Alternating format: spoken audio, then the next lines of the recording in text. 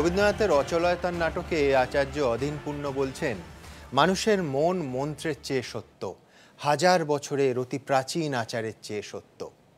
তিন তালাকের ঐতিহাসিক রায়কে এভাবেই দেখা যায়। একটা শব্দ, মাত্র একটা শব্দ, কখনো ফোনে, কখনো চিঠিতে, এমনকি কখনো ইমেলে, হোয়াটসঅ্যাপে কিংবা স্কাইপে তিনবার উচ্চারণ করলেই কি সম্পর্ক, নির্ভরতা যাবতীয় দায়িত্বকে ঝেড়ে ফেলা যায়? কোন জাদুতে এক পুরুষের জিহ্বা এত শক্তিশালী হয়ে ওঠে? সৌদি আরব, মিশর থেকে পাকিস্তান, বাংলাদেশ কোথাও নেই এই প্রথা। সব থেকে বেশি মুসলিম ধর্মাবলম্বী যেখানে বাস করেন সেই ইন্দোনেশিয়াতেও এই প্রথা নিষিদ্ধ। এবার সুপ্রিম কোর্টের রায় তিন তালাকের অবলুপ্তি নিঃসন্দেহে দেশের ইতিহাসে অত্যন্ত গুরুত্বপূর্ণ ঘটনা। আমরা আজ এ নিয়ে অনুষ্ঠানে প্রত্যেকটি পক্ষের বক্তব্য শুনব। সুপ্রিম কোর্টের পাঁচজন আবেদনকারীর অন্যতম ইসরাত জাহান আমাদের সঙ্গে স্টুডিওতে রয়েছেন। রয়েছেন সিদ্দিকুল্লাহ চৌধুরীও, যিনি এই রায়ের বিরোধিতা করছেন। তাদের কাছে আসার আগে আমি প্রথমে আপনাদের দেখাবো রায় নিয়ে বিভিন্ন মহলের প্রতিক্রিয়া সুপ্রিম কোর্টের ঐতিহাসিক রায়ে দেশ থেকে উঠে গিয়েছে তিন তালাক হাসি ফুটেছে অসংখ্য মহিলার মুখে যাদের জীবন তছনছ হয়ে গিয়েছে এই তিনটি শব্দের জন্য हम जैसे महिलाओं को इंसाफ मिल सकता बाद में कोई महिला के साथ ऐसा भी नहीं नहीं होएगा क्योंकि बल्कि बोले तो ट्रिपल तलाक को मिसयूज कर रहे हैं তবে এই তালিকায় রয়েছে এমন পাঁচটি নাম যারা তিন তালাকের শিকার হয়েও লড়াই ছাড়েননি। মঙ্গলবারের ঐতিহাসিক রায়, সেই লড়াইয়েরই ফসল। আফরিন রহমান, যাকে স্পিডপোস্ট মারফত তিন তালাক দিয়েছিলেন স্বামী। উত্তরাখণ্ডের সায়রা বানো, বিয়ের পনেরো বছর পর তাকে তিন তালাক দেন স্বামী। উত্তরপ্রদেশের গুলশন পারভিন দশ টাকার স্ট্যাম্প পেপারে তাকে তিন তালাক দেন স্বামী। উত্তরপ্রদেশের আতিয়া সবরি, যার স্বামী কাগজে লিখে তিন তালাক দিয়ে দেন। আর আমাদের রাজ্যের ইশরাত জাহান স্বামী দুবাই থেকে ফোনেই তাকে তিন তালাক দেন এই পাঁচজনই সুপ্রিম কোর্টে আবেদন জানান যার ভিত্তিতে মঙ্গলবার রায় দিয়েছে সর্বোচ্চ আদালত परिवार टूटता है तो सभी लोगों को दुख होता है फैमिली टूटती है और अ, बच्चे खासकर जब अ, अलग होते हैं तो अ, सभी लोगों को दुख होता है तो मैंने उस पीड़ा को सहा है और मुझे अ, ने, अ, ऐसा लगता है कि और जो दूसरी औरतें हैं मुस्लिम महिलाएं हैं उन लोगों को इस पीड़ा से ना सहना पड़े সর্বোচ্চ আদালতের রায়ে এরা যন্ত্রণা থেকে মুক্তির স্বাদ পেলেও অনেকে কিন্তু এখনো তিন তালাকের পক্ষে সরব কিছু স্বাধীন চেতা কিছু এমন মহিলা মুসলিম পার্সা লয়ের যারা পরিবর্তন চান বিজেপি তাদের অক্সিজেন দিয়েছে। শরীয়তের আইনকে উড়িয়ে দেওয়ার ক্ষমতা সুপ্রিম কোর্ট দেওয়া হয়েছে। তালাক আছে তালাক থাকবে। সুপ্রিম কোর্টের মাননীয় বিচারপতি তাদেরকে কে অধিকার দিয়েছে কোরআন সুন্নতকে নস্বাত করা? পাল্টা তিন তালাক প্রথার শিকার ইশরাত জাহানরা প্রশ্ন করছেন মহিলাদের প্রাপ্য অধিকার থেকে বঞ্চিত করে কার কি লাভ? फ़ोन पे तलाक देकर दूसरी शादी कर ले ऐसे घूमे। ये अच्छा ठीक नहीं है। उसको तो इसके लिए तो जो भी मर्द ऐसा करता है, इसके लिए उसको तो कड़ी सज़ा मिलना चाहिए। जिस तरह दस लोगों के बीच में शादियाँ होती है, उस तरह से तलाक का अगर दिया जाए तो बेहतर है फ़ोन पे तलाक देना व्हाट्सअप के ज़रिए तलाक देना।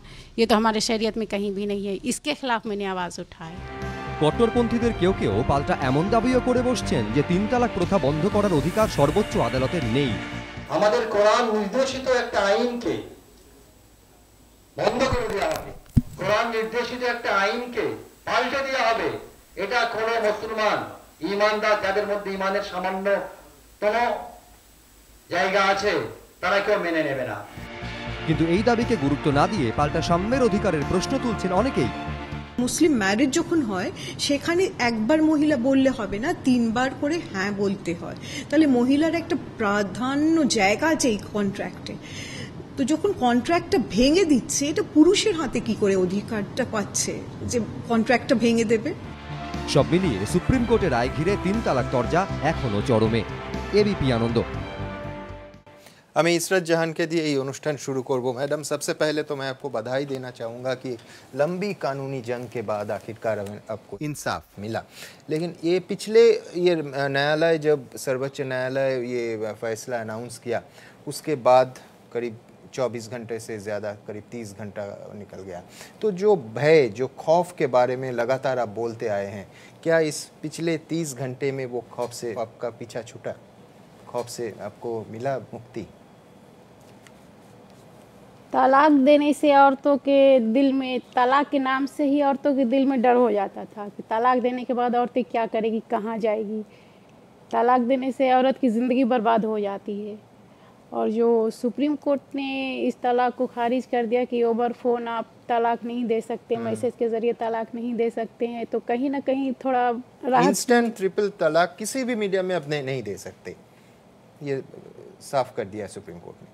तो जो तलाक का जो डर था वो डर निकल गया है दिल से। किसी की तलाक देने से औरत की ज़िंदगी बर्बाद हो जाती है अब ऐसा नहीं हो सकता है।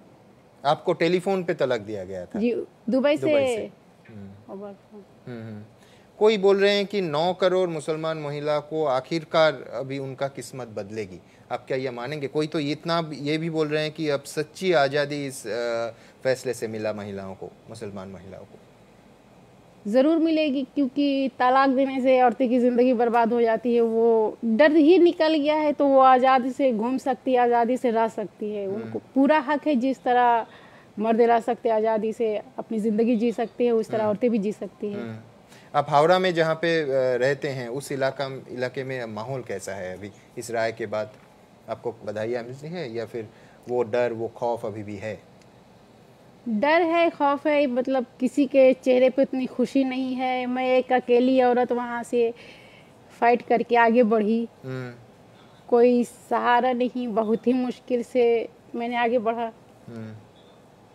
একজন একলা মহিলা লড়াইয়ের কথা বলছেন ইসরাত জাহান আমরা দ্রুত একবার দেখে নেব কি কঠিন সময়ের মধ্যে দিয়ে কি লড়াইয়ের মধ্যে দিয়ে হয়তো সেই লড়াই এখনো থামেনি তাকে যেতে হয়েছে जो भी मर्द ऐसा करता है इसके लिए उसको तो कड़ी सज़ा मिलना चाहिए ताकि तलाक के लिए औरत को डर ना हो मर्द को डर हो जाए कि तलाक देने के बाद क्या होता है নাম ইসরাত জাহান বয়স একত্রিশ বাড়ি হাওড়া চার সন্তানের মা যে পাঁচ নারীর আবেদনের ভিত্তিতে তিন তালাক প্রথার ওপর সুপ্রিম কোর্টে তরবারি নেমেছে তার মধ্যে অন্যতম এই ইশরাত জাহান তিন তালাক প্রথার অন্যতম শিকার ইশরাতের দাবি পরপর তিন কন্যা সন্তানের জন্মের পর থেকেই স্বামীর সঙ্গে তার সম্পর্কে ফাটল ধরে চতুর্থ সন্তান ছেলে হওয়ার পরেও সেই ফাটল জোড়া লাগেনি এরপর দু সালে ইশরাতের স্বামী দুবাইয়ে বসে ফোনেই তাকে তিন তালাক দেন मेरी शादी 2001 में हुई इतने लंबे अरसे के बाद 12-13 साल गुजारने के बाद ऐसा हुआ लगातार मेरी तीन बेटियां हुई और मेरे जो हस्बैंड थे उनको लड़का चाहिए था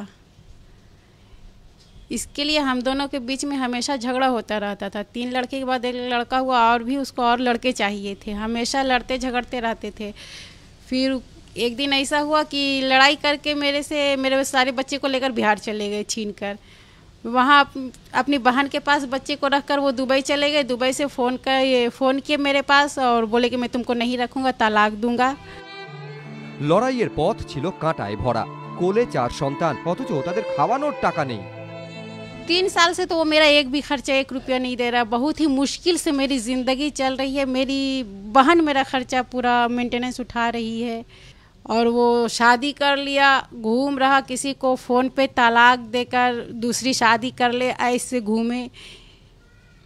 ये अच्छा ठीक नहीं है। ঈশ্বরত ও তার আইনজীবীর দাবি রাজ্যপাল কেন্দ্রীয় স্বরাষ্ট্রমন্ত্রী প্রধানমন্ত্রী দফতর উপরাষ্ট্রপতি সবাইকে নিজের কথা জানিয়ে উত্তর পেয়েছেন কিন্তু রাজ্য সরকার এবং পুলিশের তরফে কোনো সহযোগিতা মেলেনি थाना जो है वो तो कभी भी सपोर्ट नहीं करता जब भी जाते तो भगा ही देता है কিন্তু শতকষ্টেও হাল ছাড়েননি ইশরাত जब सब कुछ बेसहारा हमको कर दिया फिर हम किधर जाते फिर हमको हिम्मत जुटाना पड़ा कि नहीं हमको इस लड़ाई को लड़ना है और जीतना भी है মঙ্গলবার সুপ্রিম কোর্টের রায়ে জিতেছেন ইশরাত। বোরখার ফাঁকে দুটো চোখই বুঝিয়ে দিচ্ছে সেই তৃপ্তি। প্রকাশ সিনহা, এবিপি আনন্দ। আমি সিদ্দিকুল্লাহ চৌধুরীর কাছে আসব। সিদ্দিকুল্লাহ সাহেব আমি বুঝছি যে আপনি রাজ্যের মন্ত্রী হিসেবে নয় জামিয়াতে উলেমায় হিন্দে রাজ্য সভাপতি হিসেবে বলছেন, কারণ এখনও পর্যন্ত রাজ্য সরকার বা তৃণমূল কংগ্রেস আনুষ্ঠানিকভাবে তাদের অবস্থান স্পষ্ট করেনি। আমার প্রথম প্রশ্ন, আপনি রাজ্যের মন্ত্রী তো বটেই, সংবিধান হাতে নিয়ে শপথ নিয়েছেন।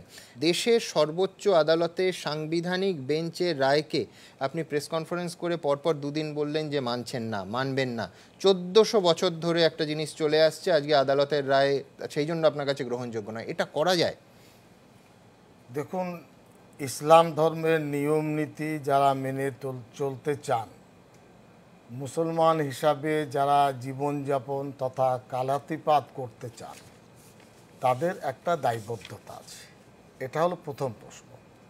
সেক্ষেত্রে পুরুষ বা নারী, তাকে বুঝতে হবে তারা মুসলমান হয়ে থাকতে চান, বাঁচতে চান না চান না।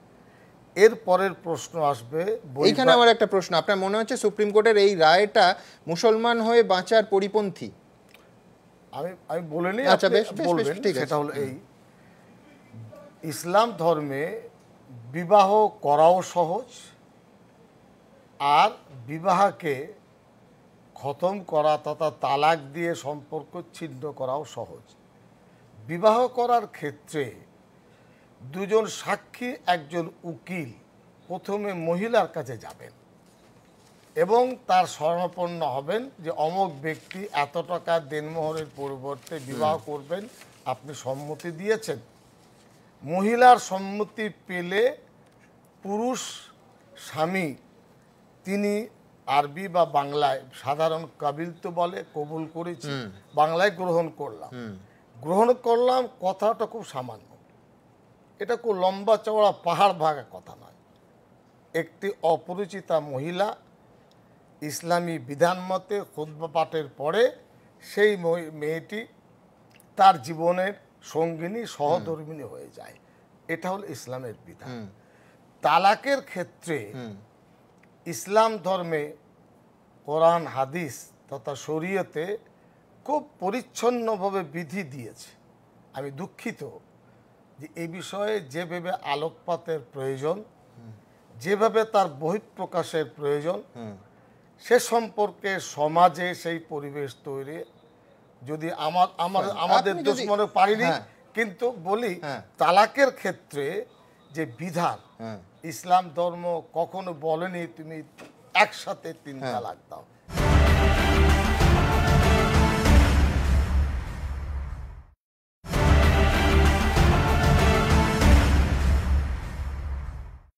ইসলাম ধর্ম কখনো বলেনি তুমি একসাথে তিন হ্যাঁ। তালাক দাও এক তালাক দাও। বলেছে স্বামী স্ত্রীর বনিবনা না হলে নিজেদের মধ্যে দূরত্ব তৈরি করো বিছানা পৃথক করো। তাতেও যদি দেখা যায় মন কষাকষি দূর হয় না তখন তাকে মৃদু শাসন করো। তাতেও যদি না হয় তো তাকে তার পিতার বাড়ি অভিভাবক বাড়ি পাঠিয়ে দূরত্বটা তৈরি করো। এতেও না হলে সালিসি আনো এবং তারপরে সিদ্দিকুল্লাহ সাহেব এবার আমায় একটু প্রশ্ন করতেই হবে। সেটা হচ্ছে আমার তিনটে প্রশ্ন। এক হচ্ছে আপনি যথার্থই বলেছেন যে ইসলাম ধর্মে বিয়ে করার সময় অত্যন্ত গুরুত্বপূর্ণ যে মেয়েটির মত নেওয়া হচ্ছে। আমার প্রথম প্রশ্ন তালাক দেওয়ার সময় এই তিন তালাক দেওয়ার সময় স্পেসিফিক্যালি আমি কিন্তু এখানে তালাকে বিদ্যাতের কথা বলছি। ইনস্ট্যান্ট তিন তালাক। ইনস্ট্যান্ট ট্রিপল তালাকের সময় মেয়েটির কি মত নেওয়া হচ্ছে? উত্তরটা সম্ভবত না। এক নম্বর আমার প্রশ্ন। দু নম্বর প্রশ্ন আপনি বলছেন কোরআনে আছে তিন তালাকের কথা। কালকে সুপ্রিম কোর্ট বলছে আমি কোর্ট আন কোর্ট বলে দিচ্ছি। Any practice including triple talaq which is against the tenets of Quran is unacceptable অর্থাৎ কোরআনে নেই। মাননীয় বিচারপতিরা কোরআনের বিশারদ নন এটা আমি দায়িত্ব নিয়ে বলছি। তারা ইংরেজির কোন অনুবাদ পড়ে কোরআনকে ব্যাখ্যা করছেন। আপনি কোরআনের যে পদ্ধতি বললেন বিচ্ছেদে তার সঙ্গে তো তিন তালাক যায় না। আমি বলছি ভালো করে বুঝে হ্যাঁ। নেবেন। কোরআন অবতীর্ণ হয়েছিল মহান নবী সাল্লাহ সাল্লামের উপরে। ব্যাখ্যাটা তার জীবন। তার জীবন আদর্শ হাদিসকে বাদ দিয়ে কোরআন বোঝা যাবে না। কোরআন তো আমার উপরে আসেনি আপনার উপর অতএব তার ঠিকই। তার গ্রন্থ তার হাদিস এটা হলো তার সার। আমি দায়িত্ব নিয়ে বলছি ভালো করে বুঝে নেবেন। আমি বুঝে নেওয়ার চেষ্টা করছি সাহেব। আপনি আমায় এটা বলুন শরিয়াতি আইনে আছে চুরি করলে দুহাট কেটে নেওয়া হবে। তো আপনি তো সেটা মানছেন না না, চোদ্দশো বছর এটা- বারোশো বছর এটা- বলে আপনি। ভারতবর্ষে মানছেন ফৌজদারি আইপিসি সিআরপিসি এটা- এটা ভুল বলছেন। আমরা ভারতবর্ষের নাগরিক হিসাবে হ্যাঁ। ফৌজদারি বিধির ক্ষেত্রে একশো ভার সহমত আছি এবং থাকব। এটা হলো দিওয়ানি বিধি। এই দিওয়ানি বিধি ভারতবর্ষের পূর্বে ব্রিটিশ সরকার উনিশশো সাঁইত্রিশ সালে এই এই এই আপনার তাদের এই আমি আপনাদের সামনে পেশ করছি। আমার প্রশ্নটা আরও বড় সিদ্দিকুল্লাহ হ্যাঁ, সাহেব আমি বলছি আর্টিকেল ফোরটিন সংবিধানে যে সংবিধান হাতে নিয়ে শপথ নিয়ে আপনি মন্ত্রী হয়েছেন হ্যাঁ। সেই সংবিধান যেটা সম অধিকার দিচ্ছে পুরুষ এবং মহিলাকে জেন্ডার ডিসক্রিমিনেশন করা যাবে না বলছে সেখানে তালাক দেওয়ার এই তিন তালাক দেওয়ার আমি আবার বলছি আমি কিন্তু তালাকে এহসানের কথা বলছি না তালাকে হাসানের কথা বলছি না যেটা কালকে সুপ্রিম কোর্টের রায়ও বলা হয়েছে most proper form of divorce এবং প্রপার ফর্ম অফ ডিভোর্স আমি বলছি ইনস্ট্যান্ট ট্রিপল তালাক তালাকে বিদ্যতের কথা। সেখানে পুরুষের হাতে তিন তালাক দেওয়ার ক্ষমতা আছে তিনটে শব্দে। কই মেয়েদের হাতে তো দিচ্ছেন না আপনি? বিবাহ করার ক্ষেত্রে তো সরাসরি ডিসক্রিমিনেশন আর্টিকেল 14 এর ভায়োলেশন একতরফা আপনি বলে গেলে কি হবে না বলুন না বলুন না আমি শুনছি তো। কোরআন মজিদের পরে বিশুদ্ধ হাদিস গ্রন্থ হল বুখারি শরীফ এবং ইবনে মাজা যারা পঠন পঠন জানেন তারা দেখে নেবেন তিন তালাক প্রসঙ্গ প্রসঙ্গে একটা অধ্যায় সূচিত আছে। যারা তিন তালাক প্রসঙ্গে হাদিস গ্রন্থের বিশদ বিবরণ দিয়েছেন এক এক করে দিয়েছে যে তিন তালাক এট এ টাইম একই সঙ্গে দিতে পারেন না পারেন খুব ভালো। আমি আপনাকে বাইশটা দেশের কথা বলছি যার ভেতরে আটটা হচ্ছে ঘোষিত ইসলামিক দেশ তাদের ভেতরে ইন্দোনেশিয়া আছে। পৃথিবীর মুসলিম জনসংখ্যা সব থেকে বেশি যেখানে তেরো পার্সেন্ট গোটা পৃথিবীর এগারো পার্সেন্ট পাকিস্তান এবং বাংলাদেশ। এছাড়া ইরান ইরাক মরক্কো মিশর সৌদি আরব মক্কা মদিনার দেশ এই প্রত্যেকটি জায়গায় আইন করে বন্ধ হয়েছে। আপনি বলতে পারেন আমাদের আগে হ্যাঁ ভারতের আগে আইন করে বন্ধ হয়েছে। মদিনার বিষয় আপনাদের ভুল ধারণা।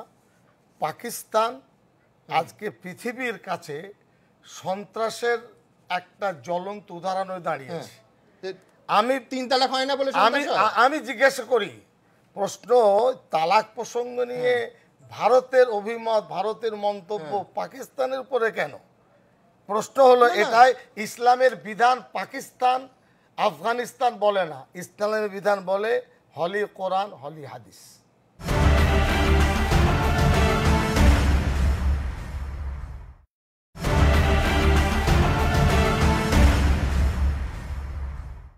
ইসলামের বিধান পাকিস্তান আফগানিস্তান বলে না। ইসলামের বিধান বলে হলি কোরআন হলি হাদিস।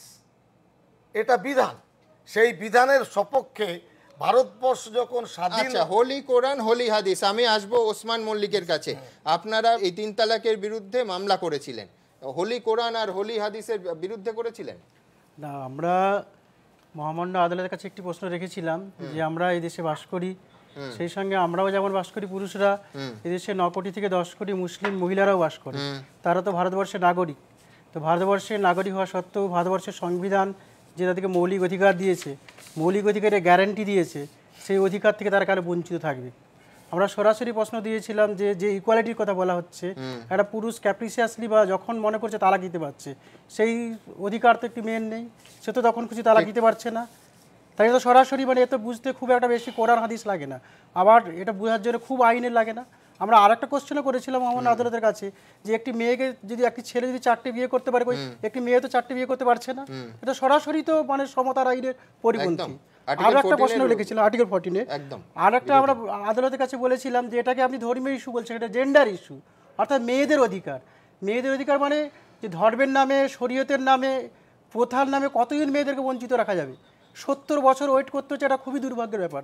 আমরা যখন কালকে জাজমেন্ট প্রথমটা শুনলাম চোখে জল এসে গেছিল যখন প্রধান বিচারপতির জাজমেন্টটা পড়া হলো। তারপরে আমরা একটু ধাতস্থ হয়েছি। কারণ এটা নিয়ে আমরা বিভিন্ন জনের সঙ্গে কথা বলেছি বিভিন্ন জায়গায় কনভেনশন করেছি। এক লাখ সই সংগ্রহ করেছি আমার বন্ধুদের সঙ্গে নিয়ে। এই পশ্চিমবাংলার বুকে দাঁড়িয়ে এক লক্ষ সই সংগ্রহ করা খুব একটা মানে সহজ কাজ নয়। তারপর আমরা ধাপে ধাপে আন্দোলনটাকে দিল্লি নিয়ে গেছি যন্তর মন্তরে গেছি। এবং রাষ্ট্রপতির কাছে প্রধানমন্ত্রীকে সে আক্ষর দিয়েছি এবং তো গোটা কাজটাই তো সিদ্দিকুল্লাহ সাহেবরা বলছেন আপনারা ইসলাম বিরোধী করেছেন হাদিস বিরোধী আমি করেছেন। আপনাকে না আপনি সঞ্চালক। হ্যাঁ। আপনাকে সম্মান দিয়ে বলব সংবিধানের প্রেক্ষাপটটা যদি ভারতের নাগরিক হিসাবে কেউ না বোঝেন সে দায়িত্বটা তাদের। উনিশশো সালে মুসলমানদের আইন শুধু তালাক কিন্তু আপনি যেটা বলছেন সেটাই সংবিধানের থেকে অবশ্যই।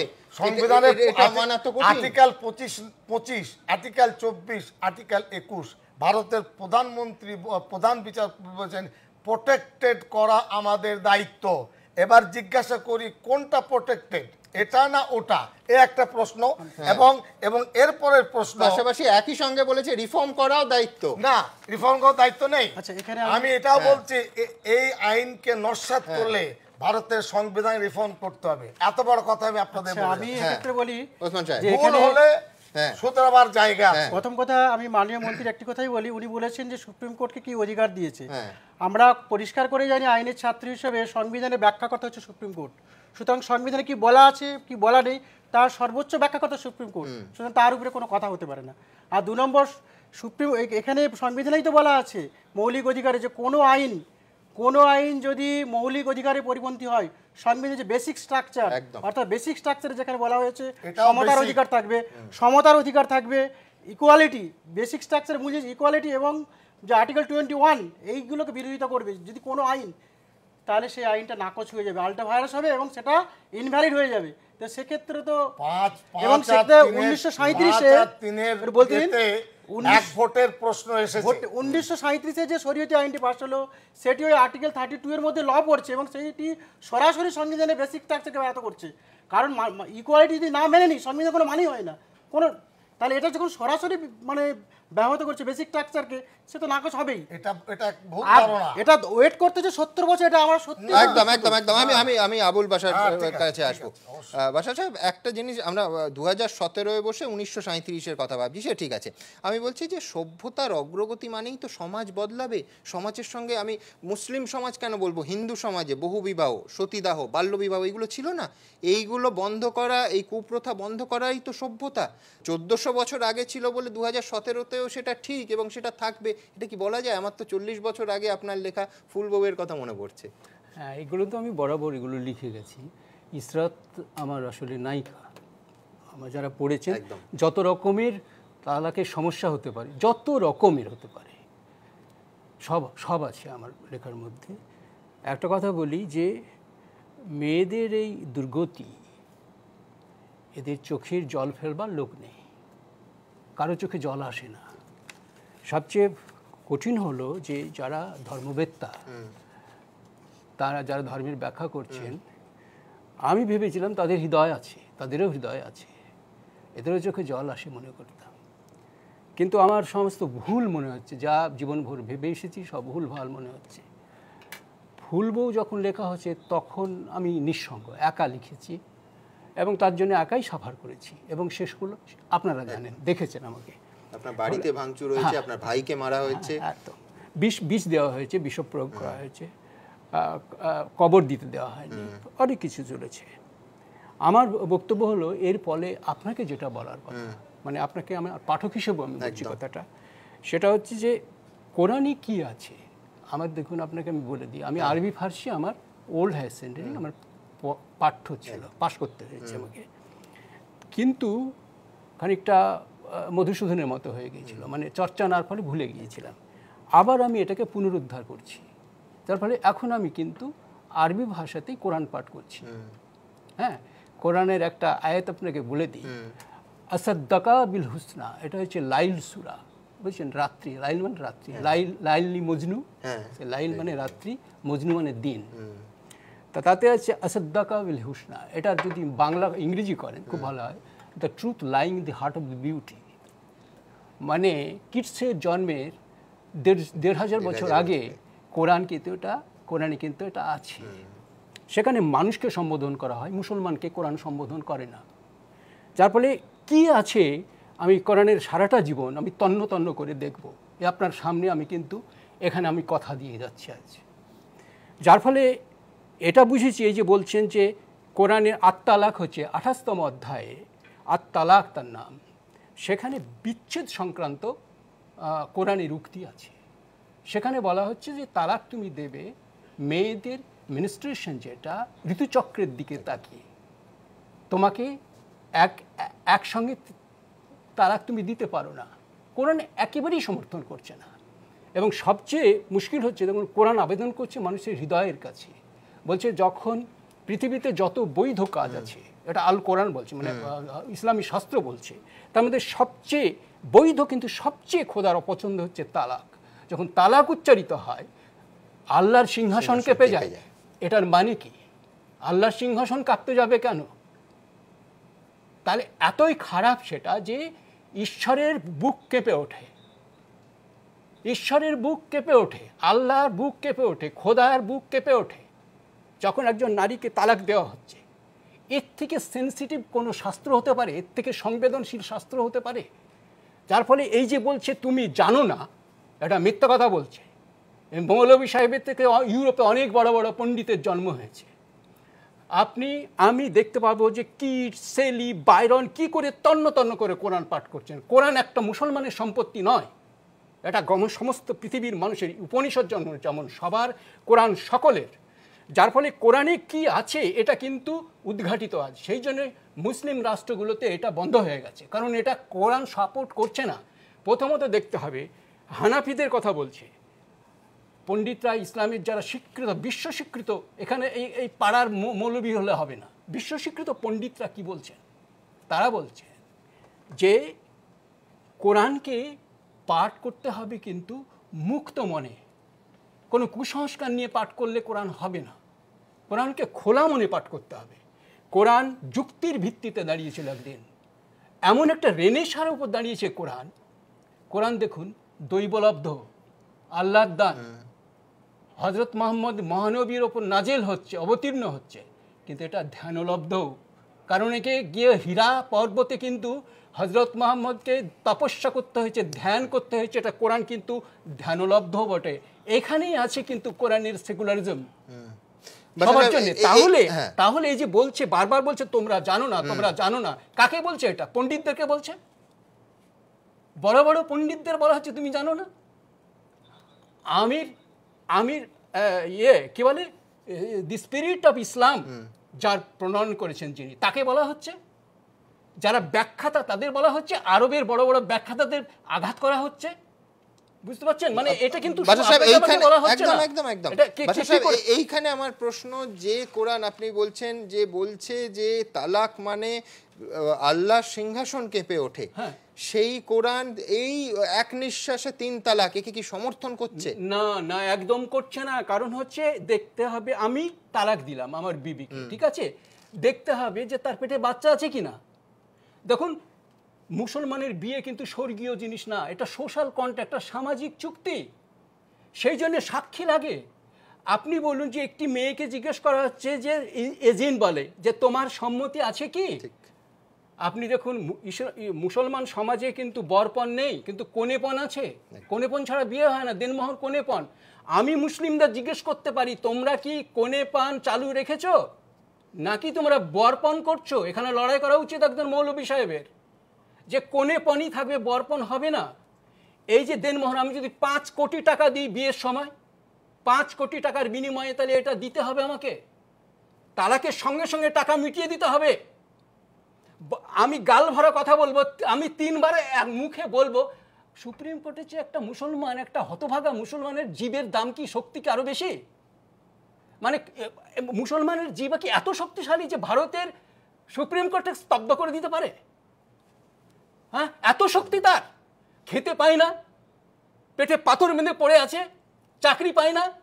সেই মুসলমানের জীবীর এত শক্তি দিয়েছে আল্লাহ যে আমাদের কোর্টকে কাঁপিয়ে দেবে। এসব কি সব পাগলের মতো কথা বলা হচ্ছে সব?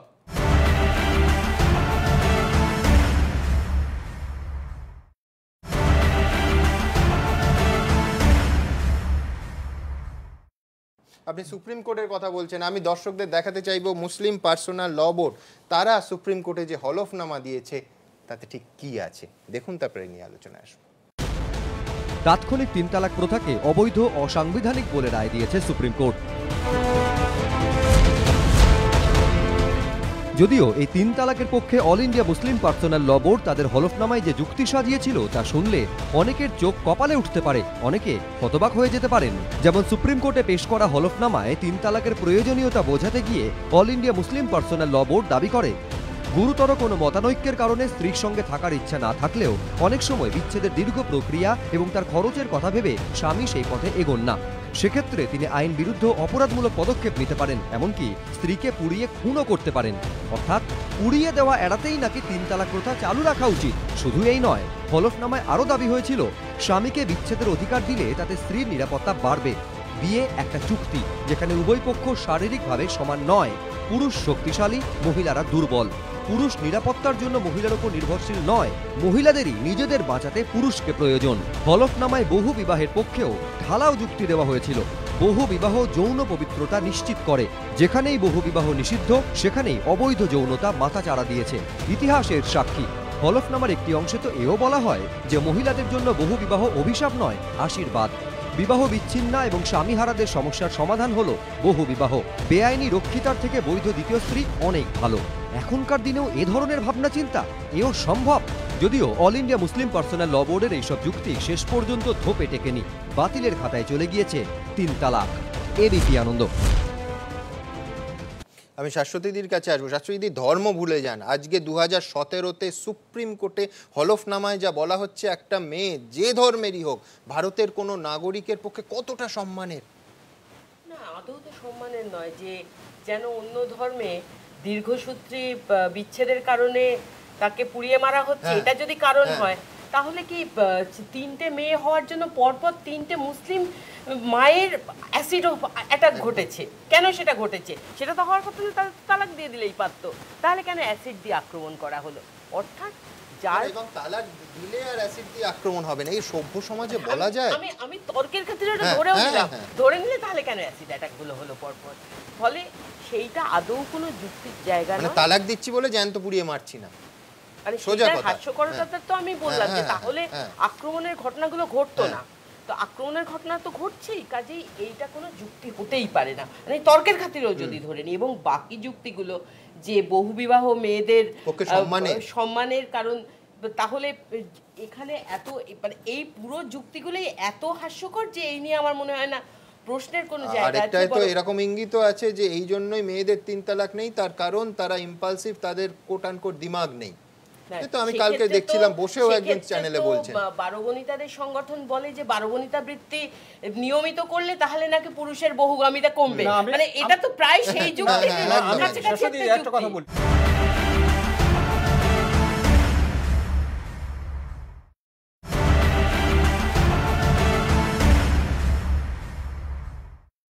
হজরত আলীর মানে নাতনি তার নাম সুকাইয়া। হ্যাঁ। তিনি একশোটা বিয়ে করেছিলেন। শুনুন ভালো করে। ইতিহাস দিন ঘাটলে না হ্যাঁ। পাগল হয়ে যাবেন। একশোটা বিয়ে করেছিলেন এবং দুই বন্ধু মিলে মানে বান্ধবী হ্যাঁ। মিলে একজনকে বিয়ে করেছিলেন এবং একজন পুরুষকে দুবার বিয়ে করেছিলেন। আরবের সমাজে। নারী যতটা বহু বিবাহ উপভোগ করত পুরুষও তাই করতো এটা ইতিহাস। আরব জাতির ইতিহাস এটা। মানে আমি বলছি যাদ- যাদেরকে সেমিটিক বলি এটা সেমিটিক প্র্যাকটিস। তারপর এটা সমভাবে মেয়েরা উপভোগ করতো। তাহলে তাই দাও। তুমি যদি তাই করো তুমি চারটে বিয়ে করো একটা মেয়ে তাহলে চারটে পুরুষ নিয়ে থাকবে? অসুবিধা কি আছে? তুমি কোনটা চাইছো? একশোটা বিয়ে করেছিলেন হজরত আলীর নাতনি সুকাইয়া। আমি নাম বলে দিচ্ছি খুঁজে দেখবেন আজগুবি গল্প নয়। এগুলো ইতিহাস। সিদ্দিকুল্লাহ সাহেব বলছেন দায়িত্বহীনতার কথা আমি। আবার বলছি- দায়িত্বহীনতা নয়। আমি আবার বলছি ভালো করে না। বহু শুনেছি আমি। পশ্চিম বাংলায় আমরা জানি কে কত সমাজ দরদি হ্যাঁ, কার কত বেদনা কে কি করেন? আমাদেরকে বোঝাতে হবে না। আমি আমি আমি আমি আমি বলিনি দিদি ভাই। আমি বলি আমি বলি শোনেন। মহিলাদের প্রশ্নে ইসলাম ধর্মে আমি আবার বলছি, কোরআন মজিদে পবিত্র হলি কোরআনে সুরায় নিসা অর্থাৎ একটি অধ্যায় সূচিত আছে, নারী অধিকার প্রসঙ্গে শুধু মহিলাদের, মহিলারা কেমন থাকবেন, কীভাবে অধিকার পাবেন, সে অধিকারের ব্যাপারে পুরুষের দায়িত্ব কত, স্বামীর দায়িত্ব কত, এগুলো বললে বলবেন আমাদেরকে চ্যালেঞ্জ করছে। না না ঠিক তো। বল- সিদ্দিকুল্লাহ সাহেব এই- এই- এই- এই জায়গায় এই অধ্যায় তো এক নিঃশ্বাসে তিন তালাকের কথা নেই। আমি হ্যাঁ, বারবার যে কথাটা আপনাকে এটা এটা আমি ডাহা এটা ডাহা ডাহা মিথ্যা কথা। সিদ্দিকুল্লাহ সাহেব, আপনার কাছে বুখারী শরীফ রাখছি। হলো কোরআনকে কোরআন যদি কেউ বলে আমি শিখব। কোরআন নিয়ে না আপনাদের আপনাদের জামায়াতের অবস্থান নিয়ে কারণ এরপরে যখন এই মামলাগুলো সামনে আসছে বিতর্ক চলছিল তখন কিন্তু আপনাদের তরফ থেকে জামায়াতের তরফ থেকে এবং all India Muslim personal law বোর্ডের তরফ থেকে বলা হয়েছে এক নিঃশ্বাসে তিন তালাক পাপ।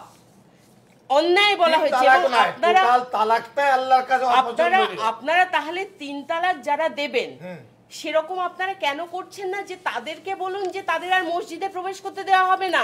তাদের যখন তারা মারা যাবে তাদের গোট দেওয়ার জায়গা দেওয়া হবে না। আপনারা সেরকম আমাদের বক্তব্যের সেই অংশ। কারণ ওই এদিকে একটা দেখায়নি। দশ টাকার স্ট্যাম্প পেপারে আমাদের এটা বলেছে? তালাক তালাক তালাক ভিডিও তালাক হয়, দেখাই দেবো। তালাক হয় আমাদের তাহলে সেটা তো তলার দিকে অংশ ভিডিও বেয়াল- দেখাই এই অংশ ছিল না আমরা যেটা বলেছি বলছি ভালো করে শুনুন সমাজে সচেতনতা আনতে গেলে তালাকের প্রয়োগ প্রসঙ্গে সমাজকে বোঝাতে হবে এবং মনিটরিং দরকার বুঝলাম তো করে না সিদ্দিকুল্লাহ সাহেব চোদ্দশো কিন্তু বছরে বোঝাতে পারেননি না। কথা, সাহেব। আচ্ছা আমি একটা কথা বলছি দিদি এখানে যে সিদ্দিকুল্লাহ সাহেবরা বারবারই বলেন যে তারা মুসলিম সুতরাং তাদের দায়িত্ব আছে কোরআন হাদিস মেনে চলার। তারা তো এদেশের নাগরিক এদেশের বৈধ পাসপোর্ট আছে এদেশের সংবিধানকে মর্যাদা দেওয়ার তাদের কোনো দায়িত্ব নেই। বিভিন্ন ক্ষেত্রে আমি দেখেছি যখন সংবিধানের প্রশ্ন আসে তারা সবসময় সংবিধানকে নস্বাত করতে চান দেশীয় আইনকে। নস্বাত করতে চান তার উপরে। তার উপরে তার তারা আমাদের আমাদের থেকে সংবিধান বেশি মানার মানুষ আপনারা যদি এতই মেনে থাকেন আপনি প্রকাশ্যে একটা দায়িত্বশীল মন্ত্রী হিসাবে আপনি সুপ্রিম কোর্টের সমালোচনা আমি এখনও সমালোচনা। দিয়েছে সুপ্রিম কোর্টের অধিকারের মধ্যে নেই। ভারতের মৌলিক অধিকারকে আপনাকে- করা। আপনি তারা প্রস্তাব দিতে পারতেন। সমাজ ব্যবস্থার প্রস্তাব দিতে পারতেন অবস্থানের প্রস্তাব দিতে পারতেন আলোচনার। দারুল দেওবন দেড়শো বছরের এশিয়া মহাদেশের মহা মুসলিম বিশ্ববিদ্যালয়। আমি অনুরোধ করব তার ভিসি গতকাল বক্তব্য দিয়েছেন। আপনি আপনি বাইশটা রাষ্ট্রকে কি বলবেন? বাইশ- একটা মুসলিম রাষ্ট্রকে কি বলবেন? রাষ্ট্র আইন করে বন্ধ করেছে। ইসলামের কিছু তাদের প্রেক্ষাপট তারা বোঝেন। আমাদের প্রেক্ষাপট আইন এই সংবিধান রচিত হয়েছে অধিকারের ভিত্তিতে। আমি বলতে বাধ্য হচ্ছি। আমি বলতে বাধ্য কেউ যারা ভুল আজকে করলে শাস্তি দিন কেউ ভুল করলে প্রয়োগ বিধির ব্যাপারে আলোচনা করুন। মানে আমি বলছি কোরআনের ব্যাখ্যা এক একটা দেশে এক এক রকম হয়। আমি বলতে বাধ্য হচ্ছি এই ব্যাখ্যা তার করবেন কারা? যারা- এক্সপার্ট তারা তো? আটটা ইসলামিক দেশে কোনো এক্সপার্ট নেই। কে? সব এক্সপার্ট পাকিস্তানের ব্যাপারে আপনাদের ভুল ব্যাখ্যা। হ্যাঁ। পাকিস্তানের আইন যেটা হয়েছে তালাক প্রসঙ্গে। কিন্তু পাকিস্তানের আলেম সমাজ একটা ব্যবস্থা করেছেন। তালাক প্রয়োজন হলে সমাজ ব্যবস্থার মধ্যে শুনানি আছে। সেই শুনানির ভিত্তিতে তারা বলেন যে তোমরা বুঝে চলো তালাক তিন তালাক প্রয়োগ আপনার না। পাশে সেটা যিনি কেন বসে আছেন কোন না না না সুপ্রিম কোর্টের রায়ে বারবার স্বামী মারার জাজমেন্টের কথা এসছে সুপ্রিম কোর্টের রায়ের হ্যাঁ। মধ্যে আমি পুরো তিনশো পঁচানব্বই পাতা হ্যাঁ। পড়তে পারিনি কিছু কিছু জায়গা পড়েছি তাতে স্বামী মারার দু দুই সালের জাজমেন্টে উনি যে শুনানিটার কথা বললেন একদম সেইটা সুপ্রিম কোর্ট বলেছে যে ওই ধাপগুলো পেরিয়ে আসতে হবে অর্থাৎ দুতরফ প্রথমে বয়োজ্যেষ্ঠরা বসবেন ধর্মীয় গুরুরা বসবেন এবং তিন ঋতুকালীন অবস্থানে এবং এই পরিস্থিতিতে তিনটে ইসরাতের। সাহসকে আরও বেশি করে কোথায় কোন শুনানি হয়েছে হয়। তো হাজার হাজার কোটি কোটি ইসরাত যে কথা বলি। আমরা আইনের ছাত্র হিসেবে যেটা বলি যে যেটাকে বলা বলি প্রিন্সিপাল অফ ন্যাচারাল জাস্টিস যে কোনো বিচার প্রক্রিয়ার অঙ্গ হচ্ছে তার বক্তব্য শুনতেই হবে। আমি যার বিরুদ্ধে সিদ্ধান্ত নেব তিন তালাকে এরকম কোনো প্রভিশন নেই তার বক্তব্য শোনার। তাহলে আমি নিজেই বিচারক আমি শাস্তিদাতা। এখানে প্রথমেই নষ্ট করে যাওয়া উচিত এই কারণে। আর একটা কথা আমি বলতে বাধ্য হচ্ছি যারা যারা যায়নি। তার বক্তব্য শুনতে হবে। সমর্থনের সুযোগ আছে সুতরাং আমি বলতে বাধ্য হচ্ছি যারা আজকে ইসলামকে এবং কোরআনের নামে প্রতিষ্ঠিত শরীয়তের নামে প্রশস্ত করছে। যারা শরীয়তের না শরীয়ত গেলা গেল বলে রব তুলেছেন গেলা শরীয়তকে রক্ষা করার জন্য এগিয়ে আসছেন হ্যাঁ। তাদের কাছে ভারতবর্ষের দশ কোটি মেয়ের চোখের জন্য কোনো দাম নেই। এবং আমি অত্যন্ত বলতে বাধ্য হচ্ছি এরাই মুসলিম সমাজকে ভারতীয় মুসলিম সমাজকে নিচে নামার চূড়ান্ত চক্রান্ত করছে মুসলিম সমাজ আমি আপনাদের সামনে বলি আজ থেকে আঠারো তারিখে ইরশাদ জাহা টেলিফোন মেসেজ পাঠিয়েছে তার প্রাক্তন স্বামীর কাছে। তিনি হুমকি দিয়েছেন। তিন বছর জেল দেবেন। কুরবানিতে দেখে নেবেন তিনি। আমি বলছি। আমি আমি বলিনি। আমি বলিনি। না না হ্যাঁ। অভিযোগ। এবং ঈশ্বর জাহাঁ তার স্বামীর মাথায় আঘাত করেছেন স্বামীর বিরুদ্ধে টেলিফোনে? হ্যাঁ। টেলিফোনে নয়। আচ্ছা। এখানে যখন থাকতেন হ্যাঁ। এখনও তিনি আছেন স্বামীর বাসায়। এসব আপনার বলতেন সামনে এই ঘটনা ঘটেছে? কে? থানা জানে তো না থানা জানলে তো হলো না থানা থানা তো জানে। এক পক্ষের অভিযোগ নিজেই আবার আপনি রাজনীতি করছেন সিদ্দিকুল্লাহ সাহেব না না না না এখানে করছেন বলছি না কিন্তু আমি বলছি থানার অভিযোগ আপনি যদি সত্যি ধরেন আমি আমি আচ্ছা আমি আমি তো বলিনি আমি বলতে চাই যা- যেটা বলতে চাই সেটা হচ্ছে যে দেখুন আমি একবার একবার শান্তনবাবু একবার ইসরাত জাহানের বক্তব্য হ্যাঁ, শুনতে চাই আঠারো তারিখে মেসেজ পাঠিয়েছে प्लीज आप आप सुन रहे हैं सिद्दीकुल्ला साहब बोल रहे हैं आपने आपके अ, पति को शारीरिक प्रहार किया और थ्रेट भी किया four nine sir pay a- sir four pay- nine টেটে কেসও করেছে হাওড়া কোর্টে ফাইন তো কে ব্যাস। কেস অভিযোগ তো বুঝলাম ওনার এই ভাষাটা তো। শুনে করে সেটা তো বিয়েটাকে রেস্টোর করার জন্য ও করেছে आपका कुछ कहना है হ্যাঁ সেটা তারপর তো ও বিয়ে করে নিয়েছে তার মধ্যখানে दो बच्चे मेरे पास आ गए जब मेरी बेटी बात की उससे तो बोले कि कलकत्ता का घर जो है वो तुम्हारे माँ के नाम से कर देंगे माँ को बोलो मेरे साथ रहने के लिए नहीं तो फिर हम आके वहाँ गाँव गाँव आओ गाँव बोलो आने के लिए हम आकर गाँव में फैसला करेंगे मेचोट कर लेंगे।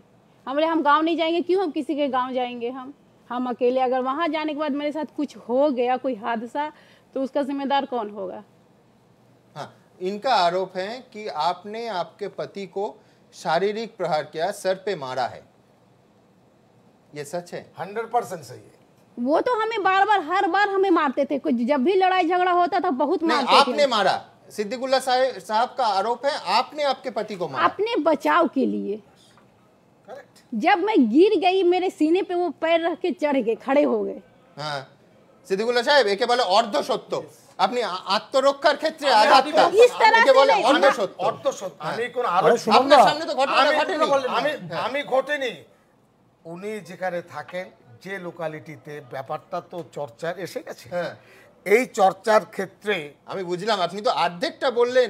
ওনার উপর দাঁড়িয়ে না না স্বামী স্ত্রী উনি বলছেন মনোমালিন্য হতে পারে। হ্যাঁ। এটা হয়। হ্যাঁ। আবার মিলে যায়। হ্যাঁ।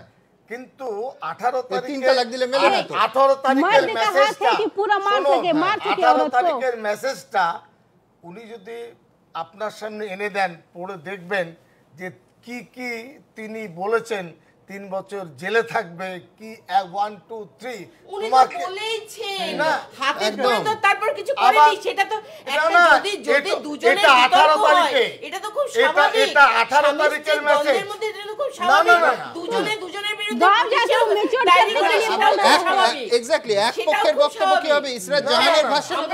স্বামীর পক্ষ আমি স্বামীর পক্ষে বলিনি। মার খাবে? কিন্তু কিন্তু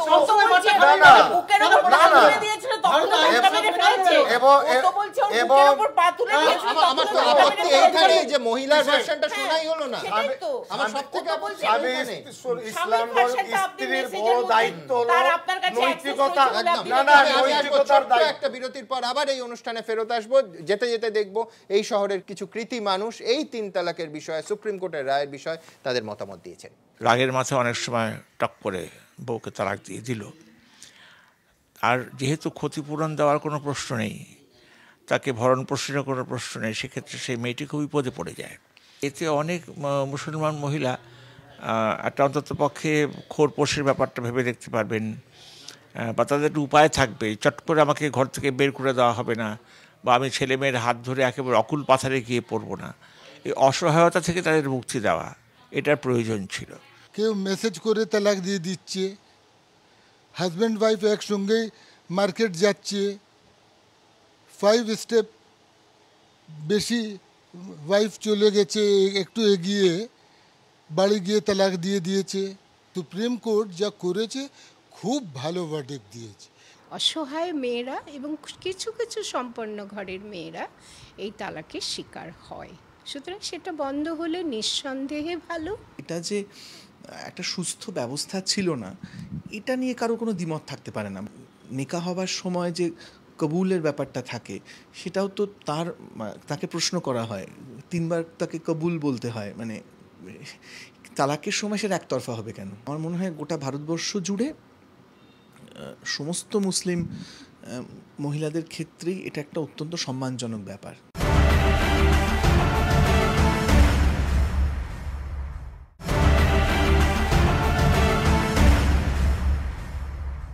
আমি এই পর্বে ঢুকব রাজনৈতিক প্রতিক্রিয়া দিয়ে। দেখুন। বিজেপি কংগ্রেস থেকে সিপিএম। সকলে এক বাক্যে তিন তালাক তুলে দেওয়ার সুপ্রিম কোর্টের সিদ্ধান্তকে স্বাগত জানালেও জামাতে উলেমায়ে হিন্দের রাজ্য সভাপতি সিদ্দিকুল্লাহ চৌধুরী জোরালোভাবে এর বিরোধিতা করছেন। একসাথে তিন তালাক দেবার প্রশ্নেও এ অধিকার সুপ্রিম কোর্টকে দেয়নি। ও এ অধিকারও তাদের নেই। পাল্টা সিদ্দিকুল্লা চৌধুরীকে আক্রমণ করেছে বিজেপি। অবিলম্বে মন্ত্রিসভা থেকে সিদ্দিকুল্লাহ চৌধুরীকে বের করে দেওয়া উচিত। তিনি একজন মন্ত্রী হয়ে যেভাবে সুপ্রিম কোর্টের বিরুদ্ধাচারণ করেছেন, তা এই দেশের সংবিধান, এই দেশের আইন ভঙ্গের সামিল। তিন তালাক নিয়ে মুখ্যমন্ত্রী নীরব কেন? তার মানে কি আমরা এটা ধরব যে মুখ্যমন্ত্রী তার বক্তব্য সিদ্দিকুল্লাহ চৌধুরীর মুখ দিয়ে বলাচ্ছেন? বিজেপি তিন তালাক নিয়ে সুপ্রিম কোর্টের রায়কে মোদির জয় হিসেবে তুলে ধরতে চাইছে। আমরা প্রথম থেকে তিন তালাকের বিরুদ্ধে ছিলাম। এটা খুবই যুগোপযোগী রায়। এটা স্বা- আমরা স্বাগত করেছি এবং এটা নিয়ে আমরা আন্দোলনও করেছিলাম এবং স্থায়ীভাবে যদি আইন করতে হয় সেটাও করা উচিত।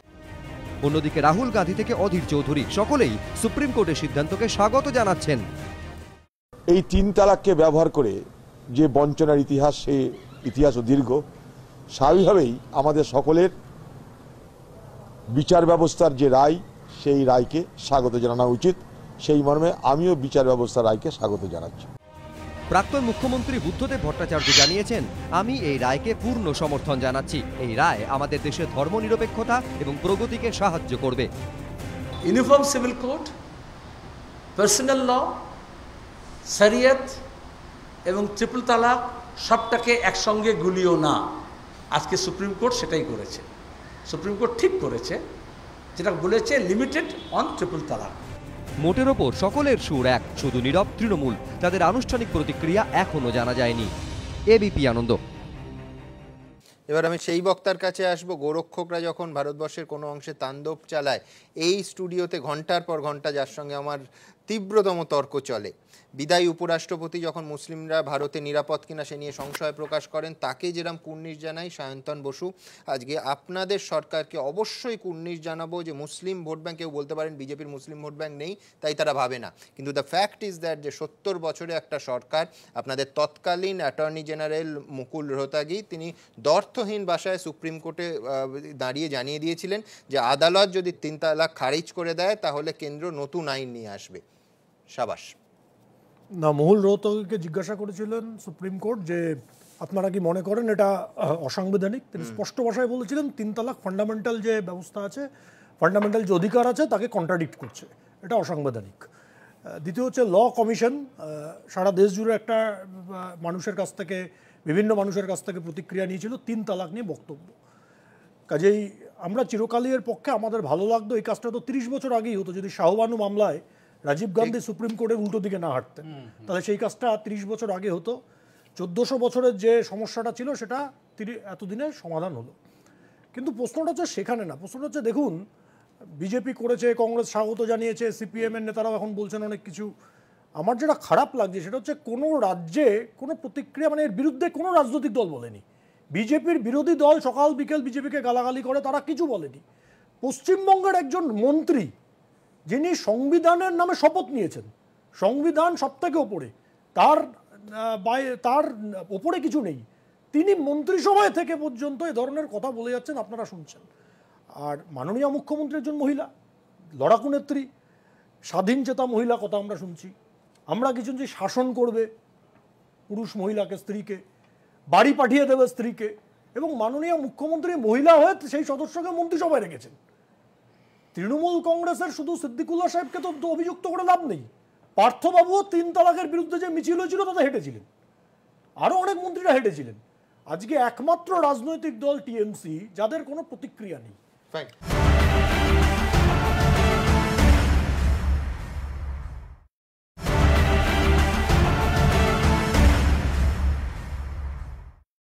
সিদ্দিকুল্লাহ চৌধুরী, আপনার পদত্যাগ দাবি আমি করছে এক্ষেত্রে খুব দায়িত্ব নিয়ে বলছি উনিশশো পঞ্চাশ সালে ছাব্বিশে জানুয়ারি ভারতের সংবিধান পার্লামেন্টে যেটা স্বীকৃতি পেয়েছে সেখানে পার্সোনাল ল আছে।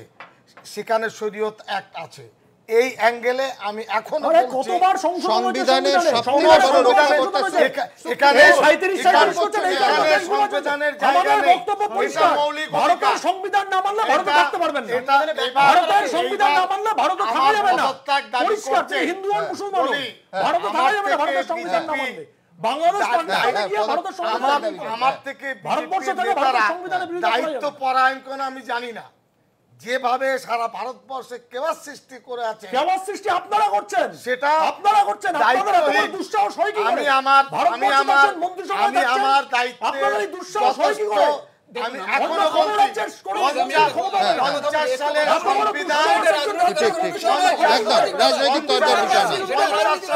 না। কোটি মহিলার চোখের জলের বিষয়।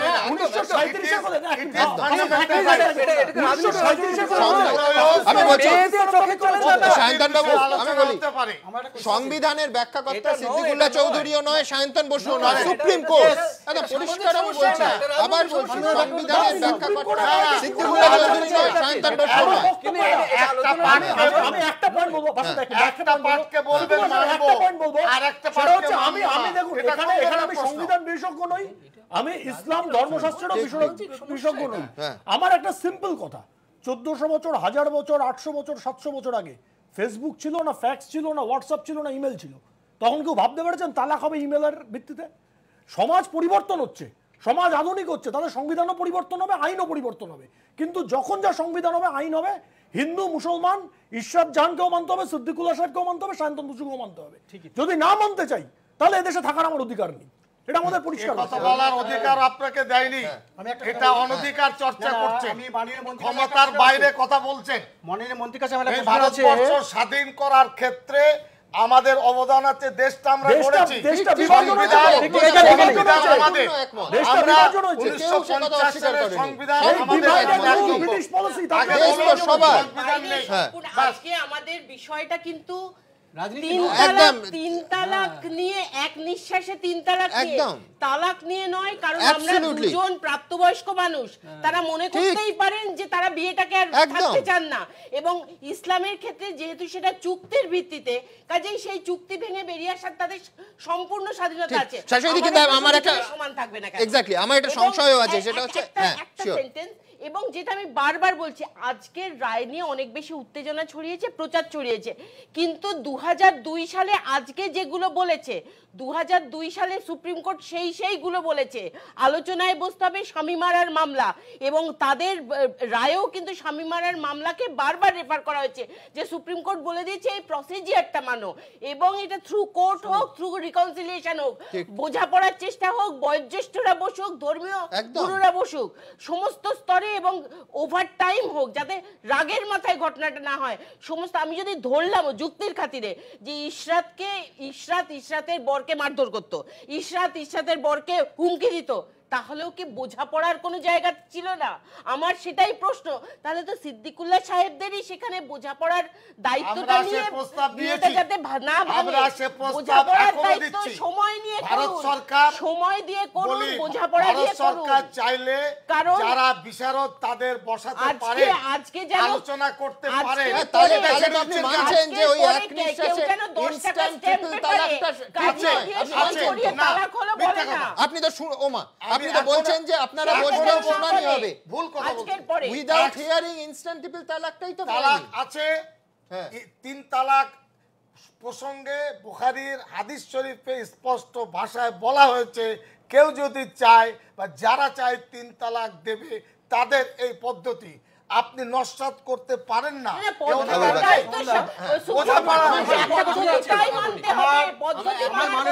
একটা প্রশ্ন আছে হ্যাঁ, একটা প্রশ্ন আছে।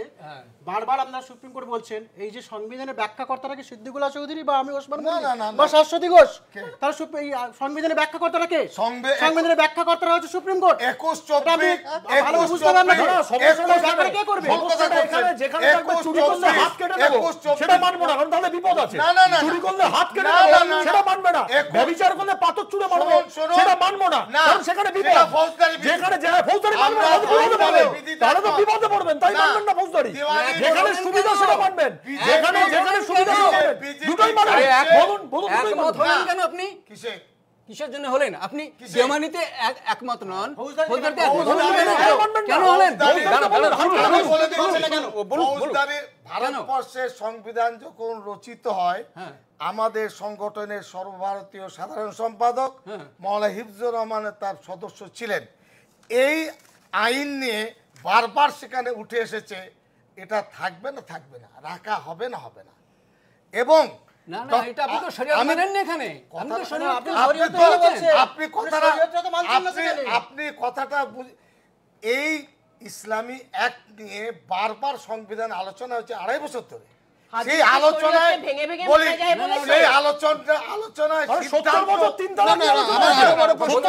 হচ্ছে আমি মানলাম কি না মানলাম না তাতে তো দেশ বা দেশের সংবিধান বা সুপ্রিম কোর্ট চলতে পারে না। আমি আমি শাশ্বতীর কাছে আরও গুরুত্বপূর্ণ প্রশ্নে আসব সেটা হচ্ছে মোল্লাতন্ত্রের কাছে কীভাবে শাহবানু মামলায় রাজীব গান্ধী নথি স্বীকার করেছিলেন? বত্রিশ বছর আগে এখনও ভারতের ইতিহাসে তা রয়েছে। আমি বলছি সুপ্রিম কোর্টে কর্পোস দিতে হবে তারপর পরিকল্পনা করে সেটাকে লঘু করে দেয়া তৎকালীন কেন্দ্র সরকার। দিয়ে আলাদা নতুন আইন আনা হলো। আমি বলছি এখন এই মুহূর্তে যে আইন আসবে সেটা স্পিরিট অফ দ্য ভার্ডিক্ট সেই অনুযায়ী হবে তো? সেটা তো আমরা আশাই করি কারণ এই জিনিসটাই যে আইনসভা আইন বানাবে কিন্তু আইনসভাকে যেহেতু ভোটে জিতে আসতে হয় সুপ্রিম কোর্টের বিচারপতিরা তো কেউ ভোটে জিতে আসেন না। ফলে তারা জনতার রায়কে কি করে প্রতিফলিত করবেন? ফলে এটা আইনসভারই করা উচিত এবং আইনসভা বিভিন্ন ব্যাপারে সে নর্মদা হোক সে অন্যান্য বিভিন্ন বিষয়ে হোক সুপ্রিম কোর্টের কোর্টে বল ঠেলে দেয়। আজকে আমরা আশা করছি সুপ্রিম কোর্ট আবার বলটা ফিরে কিন্তু আইনসভার কোর্টে ঠেলেছে। কাজেই এইবার আইনসভা উদ্যোগ নিয়ে কারণ তাহলে অনেকগুলো ধাপ পেরোতে হবে। তাহলে লোকসভা রাজ্যসভা যৌথ পার্লামেন্টারি কমিটি হ্যানা ত্যানা ইত্যাদির মাধ্যমে যেতে হবে। আমরা আশা করছি সেটার মাধ্যমে সেখানে যাবে কারণ সেখানে তখনই কিন্তু লোকজনকে আবার ইলেকশনকে ফেস করার ভয় থাকে। সেই ভয়টা পাবে না আমরা আশা করি আমরা দাবি করেছি যে বিবাহ বিচ্ছেদটাও আদালতের মাধ্যমে হোক এবং যে বিধি হবে সেটা যেন সমতার ভিত্তিতে হয়। সেই বিধি যেন কোনো লিঙ্গ বৈষম্য না থাকে। আমি দায়িত্বহীন ভাষায় স্বীকার করছি একজন ছেলেরও যে বুদ্ধি আছে একজন মেয়েরও সেই সিদ্ধান্ত নেওয়ার ক্ষমতা আছে। সুতরাং কোন রকম। সংবিধানকে নস্বাত করে না। না। ভারতের সংবিধানে পাওয়ার দেয়নি। মারপিট করবে না যে তাদের আমি মাননীয় প্রধান বিচারপতি পঁচিশ চব্বিশ একুশ। বললেন কি করে প্রোটেকশনের কথা? এই কথা তো উচ্চারিত হচ্ছে না। আরে তিন তালাক এবং পাঁচ মানে জনের মধ্যে হয়ে? এক ভোটে তিন তালাক চলে গেল মানে পাঁচ জনের মধ্যে এক ভোট। না ইসরা জাহানরা কি প্রোটেকশন পাচ্ছে? পেয়ে এসছে না কিন্তু যদি তো দেখতেই পাচ্ছি। এখনও তো কাজী সই করবেন আমি- দশ টাকা স্ট্যাম্প পেপারে সেই মেয়েটা তো নিজেকে তালাক প্রাপ্ত বলেই মনে করে। ওনারা সমাজ ব্যবস্থায় ঘুম ধরলে নীতিতে ঘুম ধরে না। যে তাকে তোমাকে এখানে আলোচনা এসেছে নীতি- সায়রা বানু স্বামী বিয়ে করে ফেলেছে। না না সেটাই তো বলছি, এখানে নীতির প্রশ্ন। কেউ কেউ অন্যায় করলে প্রথমে আমাদের ওদের কাছে ক্ষমা চাওয়া উচিত। আমরা এই সমাজে ওদেরকে তিন তালাকের মুখে ঠেলে দিয়েছি। এটা অন্যায়ের মুখে ঠেলে দিয়েছি। সমাজে। আমি বলব বড় জোরে ক্ষমা চাওয়া উচিত আমাদের। তিন তালাক থেকে বেশি অপরাধ সমাজে হচ্ছে। হচ্ছে সেটা সেই নারী নির্যাতন সামনে আসেনি। সমাজে এক হাজার একটা তিন তালাক। আমি বলছি হাজার একটা লাখে দশটা। এটা মেনে নেবে। না, পরিসংখ্যান কোথায় চলে যাবে? পরিসংখ্যান দেখাবে। 2011 আপনি- আপনি 2011 কলকাতায় গেছেন, ইসরাতের মতন কজন মহিলা। হ্যাঁ, আমি বলছি- সেন্সাসের সেন্সাসের ফ্যামিলি ম্যারেজ ডেটা দেখাচ্ছে মুসলিম মেয়েদের। যদি বিশেষ করে আমরা আঠারো থেকে চল্লিশের মধ্যে ধরি হ্যাঁ। চুয়াল্লিশ পার্সেন্ট ডিভোর্স সেন্সাসের ডেটা আমাকে বললে আমি কালকে দিয়ে দেবো। হ্যাঁ। আমি কালকে দিয়ে দেবো। ডিভোর্স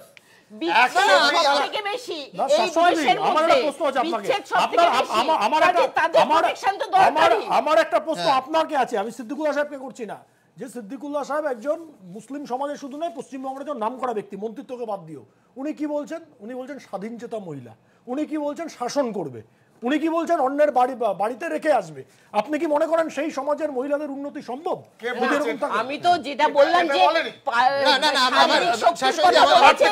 শারীরিক শক্তির কথা যেটা কোর্টে দিয়েছে বি- বিয়ে সবসময় দুজনে মারপিট করছে এটা ধরে নেওয়া না না হবে না না। শাশুড়ি আমার আপনার পরিসংখ্যান সম্পূর্ণ মেনেও আমার এখানে প্রশ্ন আছে সেটা হচ্ছে সমানাধিকার দিলে তবেই তো ডিভোর্স আপনি খাঁড়া ঝুলিয়ে রাখবেন আপনি পত্নীর মর্যাদা দেবেন কি না আমি বলছি তাহলে তো মানতে হয় যে হরিয়ানার খাপ পঞ্চায়েতে মেয়েরা সব থেকে বেশি অত্যাচারিত হয় পুলিশে কমপ্লেন সব থেকে কম হয়। কমপ্লেন হয় না। তাহলে তো আমায় মানতে হবে যে হরিয়ানার খাপ পঞ্চায়েতে যে মহিলারা ওই এলাকায় থাকে তারা সব থেকে সুখী মহিলা। কারণ তারা কোনোদিন থানা গিয়ে কমপ্লেন করেনি। এই আর্গুমেন্টের কোনো মানে আছে নাকি? মানে প্রশ্নটা অত্যাচারিত হওয়ার নয়। অত্যাচারের অভিযোগ জানানোর সাহসটা পাচ্ছি কি করে? একদমই। আমি আমি পশ্চিমবঙ্গ নিয়ে আমি যেটা বিতর্ক। আপনার সরকারের এই এই আর্গুমেন্ট মানতে রাজি আছি সিদ্দিকুল্লাহ না। অ্যাবসলিউটলি আমি এই মানতে রাজি আছি যে এখানে ডোমেস্টিক ভায়োলেন্সে পশ্চিমবঙ্গে সবথেকে বেশি এন্ট্রি তার কারণ মেয়েদের সেই সাহস আছে। আমি মানতে রাজি আছি। কিন্তু সেই আর্গুমেন্টে আপনি তো এই দুটো পরিসংখ্যান পাশাপাশি রাখতে পারেন না? আমি আমি দ্রুত একবার অন্য দেশের কথা খানিকক্ষণ আগেই আমরা বলছিলাম বাইশটা রাষ্ট্র এবং তার ভেতরে আটটি ইসলামিক রাষ্ট্র। দেখুন। বহরমপুরের এই মা মেয়ে দুজনেই তাৎক্ষণিক তিন তালাকের শিকার। সুপ্রিম কোর্ট তিন তালাককে বাতিল করে দেওয়ার পর দুজনের যন্ত্রণা যেন কিছুটা হলেও কমল। সবাই স্বামীর ভাত খায় আমি পড়াশোনা লেখাপড়া কিচ্ছু জানি না। আমার কিন্তু ওই তো একটা স্বামী আছে এখন পর্যন্ত বেঁচে আছে। আমি ওই মেশিন চালিয়েই খাই ছেলে পিলেদেরকে আমি ওই করে দিয়েই খাওয়ালে। কালকের এই যে রায়টা তোমরা তখন কোর্টে যখন দেখছিলে যখন টিভিতে দেখছিলে কি মনে হচ্ছিল তোমার? আমার কিন্তু খুব আনন্দ পেয়েছে। আমি সবকে বলছি যে, কি, এবার ঠিকই হয়েছে? ছেলেরা যেন এরকম আর না করতে পারে। আমার যেরকম জীবনে ঘটনা ঘটেছে, আর পাঁচটার যেন না ঘটে। আজ ভারতে তিন তালাক বিলুপ্ত হলেও বিশ্বের বহু মুসলিম দেশেই বহু আগে থেকেই এই প্রথা নিষিদ্ধ। এর মধ্যে রয়েছে সৌদি আরব, মরক্কো, পাকিস্তান, বাংলাদেশ, আফগানিস্তান। বিশ্বের সর্বাধিক মুসলিম যে দেশে বাস করে, সেই ইন্দোনেশিয়াতেও তাৎক্ষণিক তিন তালাক প্রথা নিষিদ্ধ। এছাড়াও তুরস্ক তিউনেশিয়া, আলজেরিয়া, সিরিয়া, সুদান, মিশর, Jordan, Iraq, Qatar, Iran, Malaysia. ব্রুনেইয়ের মতো দেশেও তিন তালাক বহু আগে থেকেই নিষিদ্ধ। বিশ্বের এই মুসলিম দেশগুলোর পর এবার ধর্মনিরপেক্ষ ভারতে শেষ পর্যন্ত তিন তালাক প্রথার অবলুপ্তি ঘটল। মেঘ কেটে অর্ধেক আকাশের মুখে উঠল আলো। এবিপি আনন্দ।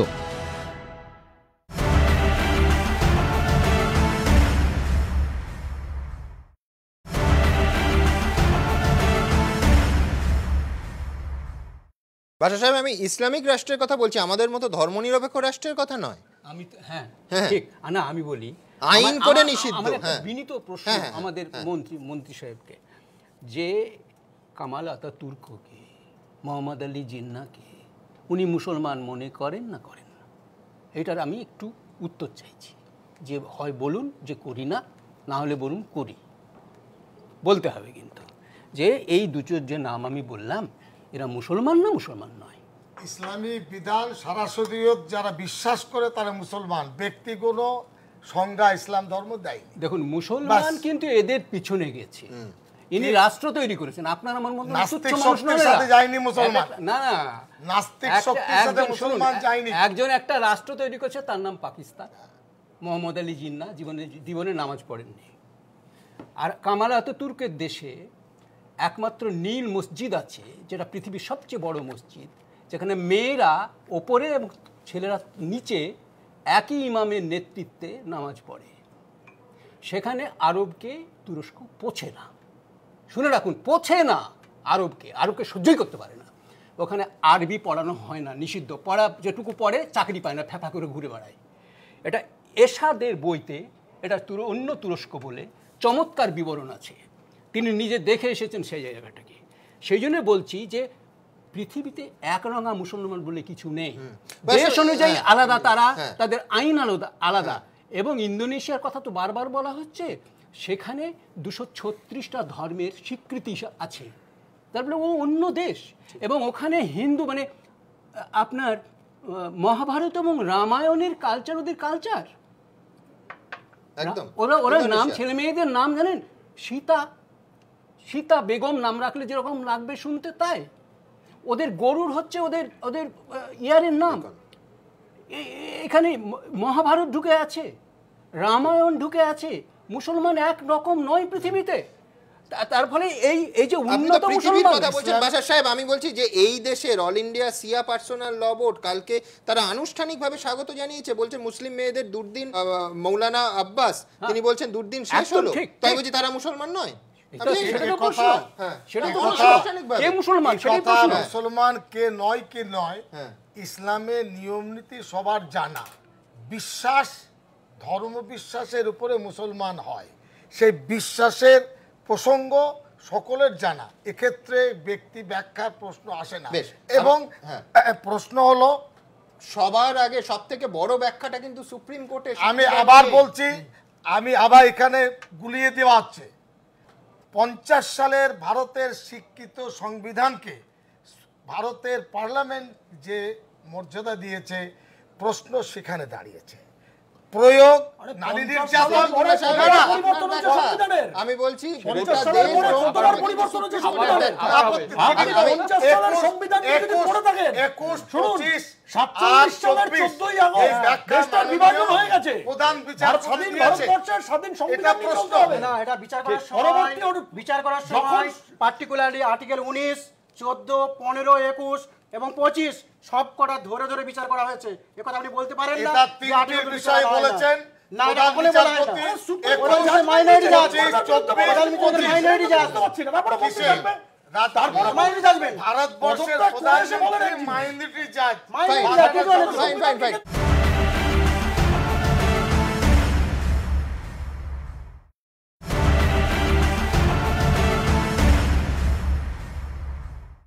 আমি সাধারণভাবে বিরতির কথা অনুষ্ঠানে বলি না কিন্তু ইসরাত জাহান খানিকক্ষণ আগে সিদ্দিকুল্লাহ সাহেবকে প্রশ্ন করছিলেন যে আজকে আমার পজিশনে আমার অবস্থায় যদি আপনার কন্যা থাকতেন তাহলে আপনি কি করতেন? আমি দায়িত্ব নিয়ে বলছি আগেও বলেছি ইসলাম ধর্মে তালাক পছন্দনীয় নয়।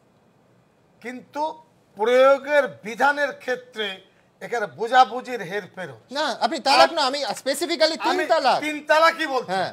তিন তালাকের বিশেষজ্ঞ কারা? তিন তালাক বিশেষজ্ঞ যার, যারা মহান নবীকে দেখেছিলেন তারা, পরবর্তী যুগে চারজন খলিফা তারা, পরবর্তী যুগে চারজন ইমাম তারা। আমি আপনি চোদ্দশো বছর আগে উপরের মন্দির ছেদ দেখেননি তো? সেই জন্যই তো আপনি অন্ধভাবে তো জানেন। তো। এখানে সেই- এটাই তো সেই ব্যাখ্যাতে এক। মজলিসে তিন এক এক রাজ্যের মন্ত্রীকে আপনারা। বলুন। মন্ত্রীকে আপনারা করতে তো। পারবে না, মন্ত্রী তিন সাহেব না মন্ত্রী সাহেবের কাছে আমার একটা প্রশ্ন আছে হ্যাঁ, হ্যাঁ। সেটা হচ্ছে খালিফা সাহেব বা যারা ছিলেন তার সে সময় কি ফ্যাক্স ছিল না ইমেল? ছিল না এসএমএস ছিল যে এসএমএস এর মাধ্যমে তালাক দেওয়া হচ্ছে। ইমেলের মাধ্যমে তালাক দেওয়া হচ্ছে ফেসবুকের ইমেল মাধ্যমে তালাক দেওয়া হচ্ছে। কোরআন এমন একটা বিষয় পৃথিবীকে দিয়েছে। যতদিন পৃথিবী থাকবে অপরিবর্তিত অবস্থায় থাকবে মানব কল্যাণের জন্য আচ্ছা, থাকবে আচ্ছা, আচ্ছা, আচ্ছা।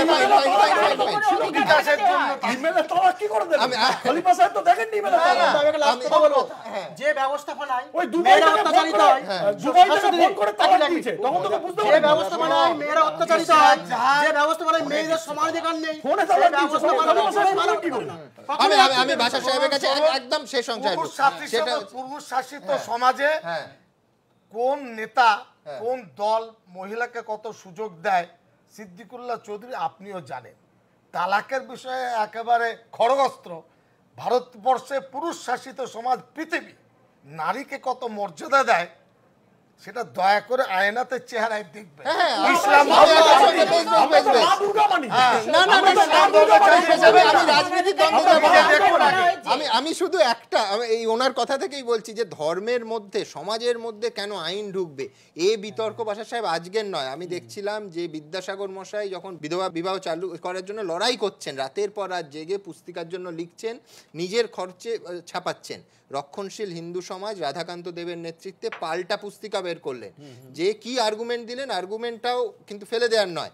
রাষ্ট্রশক্তি ইংরেজ শাসকরা সমাজের ভেতরের বিষয়ে কেন নাক গলাবেন? পাল্টা লিখতে হলো বিদ্যাসাগর মশাইকে যে পাত্র যখন বিধবা বিবাহ করছে তারপর যখন সন্তান তাদের হলো সে যদি সম্পত্তির অধিকার থেকে বঞ্চিত হয় তাহলে কিন্তু ওই বিয়েটাই অবৈধ এবং বেআইনি হয়ে যাবে।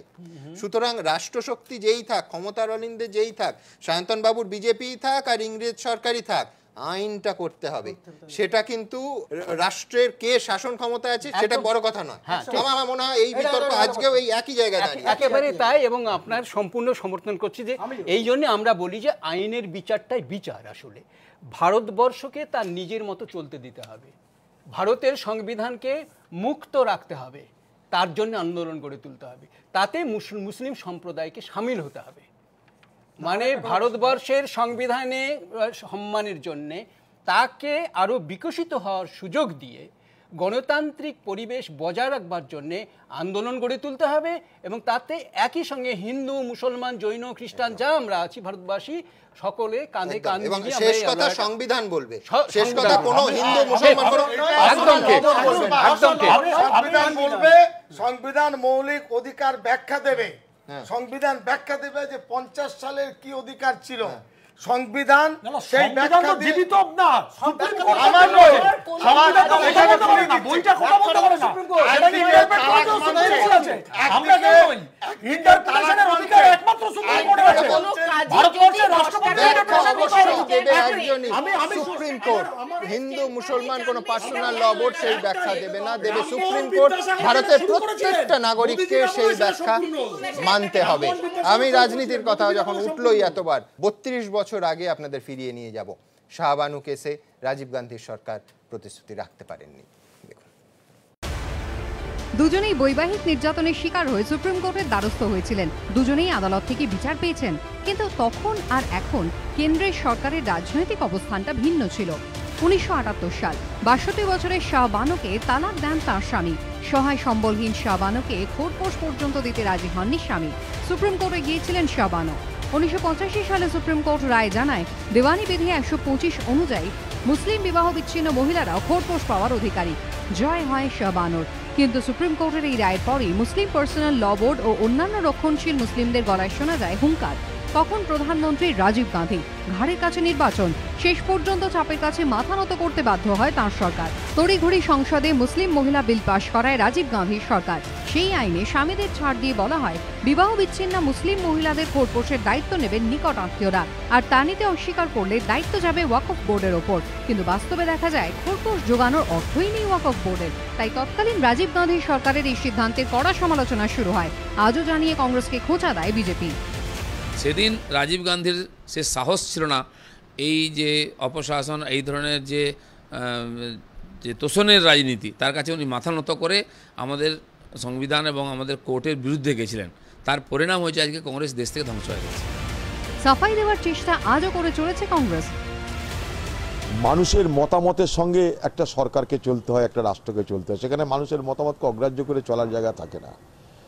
শাহাবানুর ঘটনা যখন ঘটেছিল তখনকার ভারতবর্ষ আজকের একবিংশ শতাব্দীর ভারতবর্ষ এক নয় সেই সিদ্ধান্তটা নেওয়া দরকার ছিল যে রাষ্ট্র মনে করেছে তাই রাষ্ট্র নিয়েছিল শাহবানো অধ্যায় যদি কংগ্রেসের কাছে চরম অস্বস্তির হয় তাহলে তৎক্ষণাৎ তিন তালাক প্রথা তুলে দেওয়াকে মোদীর জয় হিসেবেই তুলে ধরতে চাইছে বিজেপি কারণ তাদের বক্তব্য মোদী সরকার শুরু থেকেই আদালতে তিন তালাকের জোরালো বিরোধিতা করে এসেছে ये नरेंद्र मोदी की सरकार है राजीव गांधी की नहीं जो शाहबानों पे झुक गई हम पूरी मजबूती से उनके साथ खड़े थे और खड़े रहेंगे শাহবানো বিচার পেলেও তারপর কেন্দ্রের ভূমিকা নিয়ে আজও বিতর্ক চলে কিন্তু সায়রা বানোরা সুবিচার পেলেন পাশে রইল কেন্দ্র এবিপি আনন্দ